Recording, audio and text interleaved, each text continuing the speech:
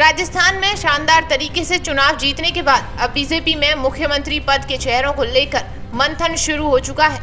राजस्थान में सीएम पद के लिए कई चेहरे रेस में हैं, जिसमें एक नाम तिजारा से चुनाव जीतने वाले महंत बाबा बालकनाथ का भी है।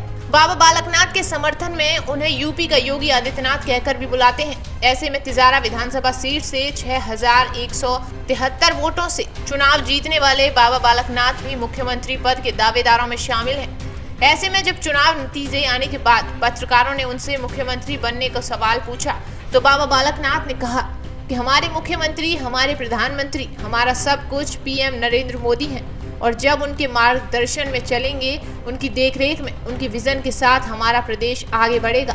बता दें कि बाबा बालकनाथ यादव समाज से आते हैं। राजस्थान में ओबीसी होने के कारण सीएम पद की रेस में वो राजकुमारी दिया कुमारी से आगे नज़र आ रहे हैं।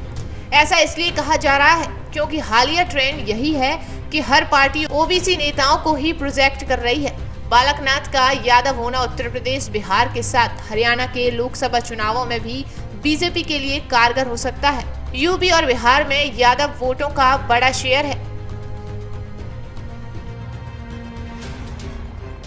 सौभाग्य दिया है वहाँ की सेवा करने का। ये सब सीट हमारे जो इतने कार्यकर्ता दिख रहे हैं की मेहनत से और तिजारा की जनता ने जीती है जीत उनको समर्पित है और हम उनकी सेवा में समर्पित हैं।